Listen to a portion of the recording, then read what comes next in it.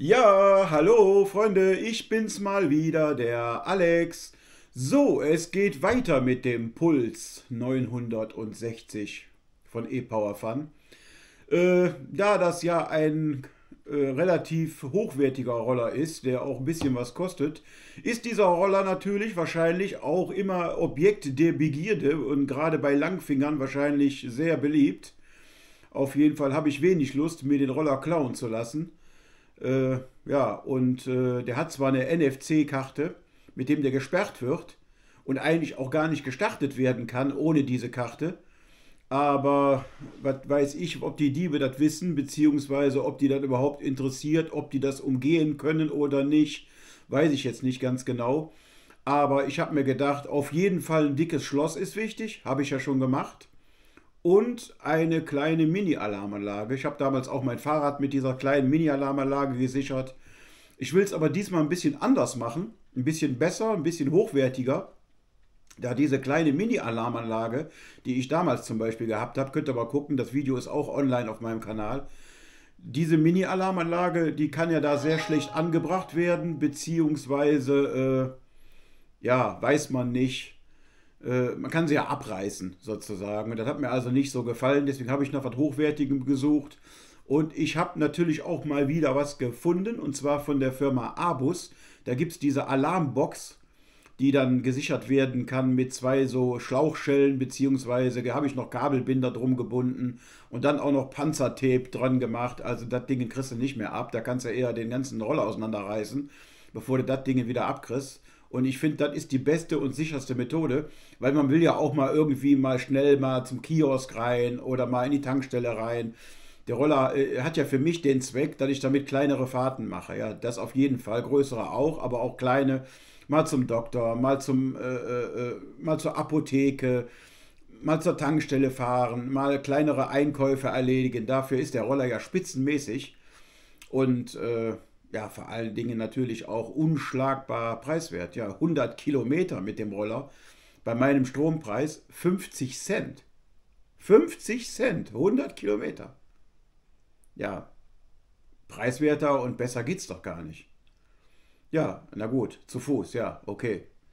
Aber wer will schon immer 6, 7 Kilometer da oder 10 Kilometer oder noch mehr zu Fuß äh, latschen? Da bist du auch ewig unterwegs.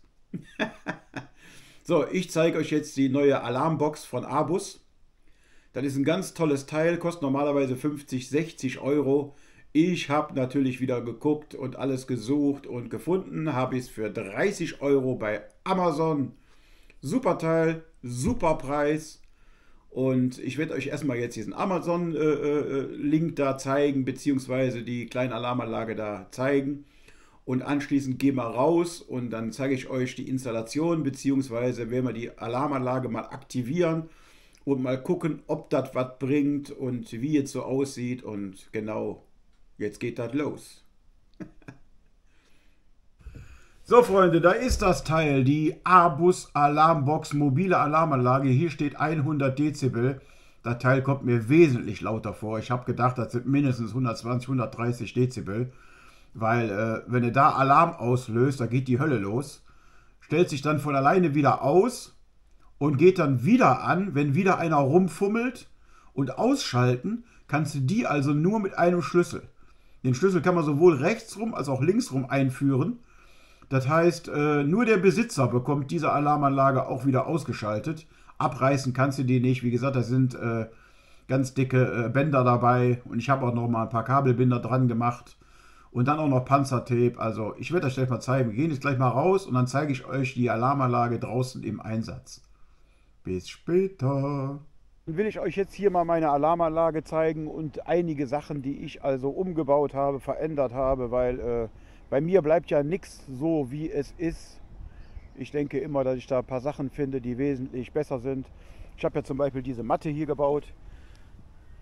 Ja, die habe ich jetzt nochmal mit Panzertape, habe ich die nochmal äh, umwickelt, damit die haltbarer ist. Ich denke, das bringt ungefähr so 10% weniger Vibrationen, vor allen Dingen diese kleinen harten Stöße verhindert das. Den, äh, den Seitenständer habe ich etwas verlängert. Da habe ich so eine Kappe drauf gemacht von meinem Nokia 5210, was ich noch hatte, bestimmt 20 Jahre alt, also die halbe Kappe davon. Ich werde das aber noch ein bisschen verbessern, weil ich sehe nicht ein, wenn ich da den Ständer drücke oder ich möchte den Ständer ausfahren und trete da dreimal ins Leere. Äh, da sehe ich keinen Sinn drin. Das muss ein bisschen länger sein und klappt trotzdem super. Ist jetzt ein bisschen verlängert und man kann den Ständer besser rausziehen, rausbekommen. So, dann geht es jetzt hier um die, hier meine schöne Tasche, meine Arbeitstasche, wo ich noch Haus- und Gebäudetechniker war bei der Stadt. Habe ich die noch. So, und dann wollen wir mal gucken hier. Ja, hier ist jetzt diese Alarmanlage von äh, Abus, diese Alarmbox, die ich jetzt hier dran gemacht habe. Ja, und die kann man jetzt hier äh, aktivieren, indem man hier den Schalter drückt. Zack. So. So, jetzt hat man so ein Signal gehört. Jetzt ist die Alarmanlage aktiv. So, wenn jetzt hier der böse Langfinger kommt und fummelt hier in der Gegend rum, das Diebesvolk, und macht hier irgendwas und manipuliert oder drückt hier rum, dann kommt erstmal so ein Tonsignal. Wenn er das dann aufhört, dann ist auch alles gut. Allerdings, wenn er jetzt weitermacht oder jetzt nochmal zu dem Fahrzeug äh, äh, äh, irgendwelche Sachen versucht abzubauen, das Fahrzeug zu entwenden, dann geht es aber richtig ab. Ja, dann kommt erst wieder dieses Tonsignal. Ja, und dann.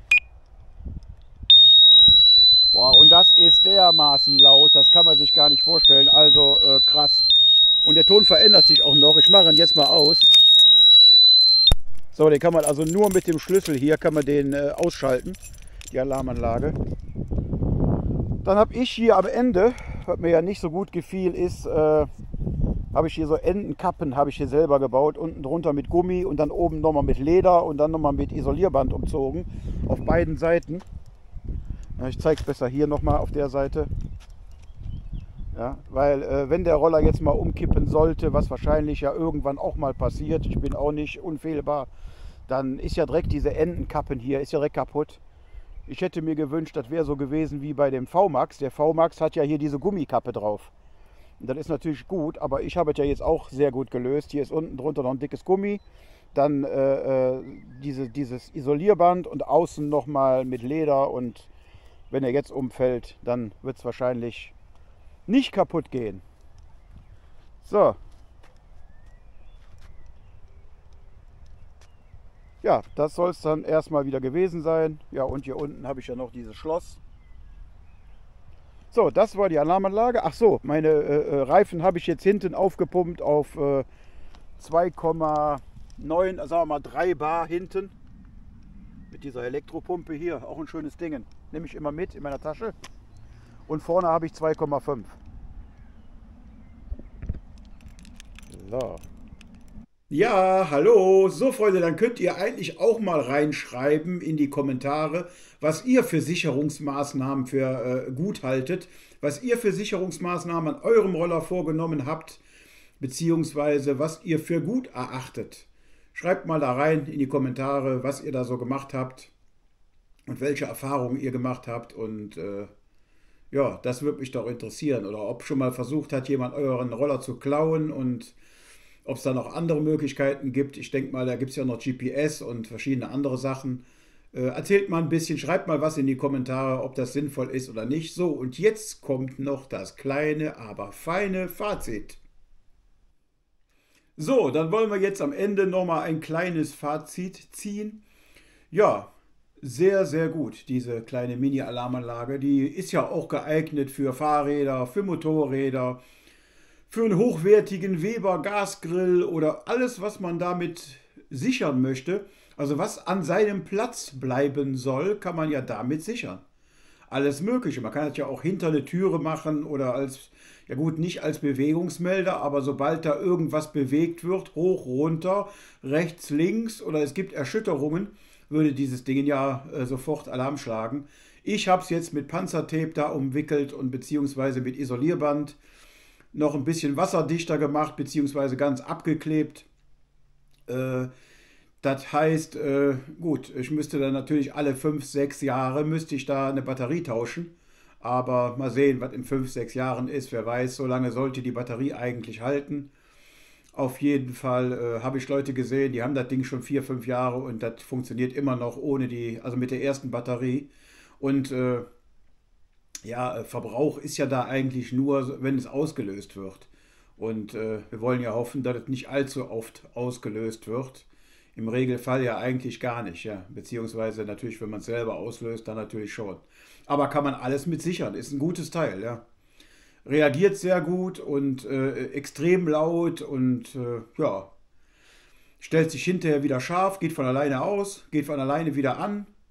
Also ich sag mal, klare Kaufempfehlung. Übrigens, ich bin nicht gesponsert von Abos, ich habe mir das Teil selber gekauft. Ich habe keinerlei Werbeeinnahmen, ich habe gar keinen äh, Zugewinn hier von meinem Kanal. Schön wäre ein Daumen hoch für das Video. Ich hoffe, das ganze Video war ein bisschen hilfreich für euch gewesen.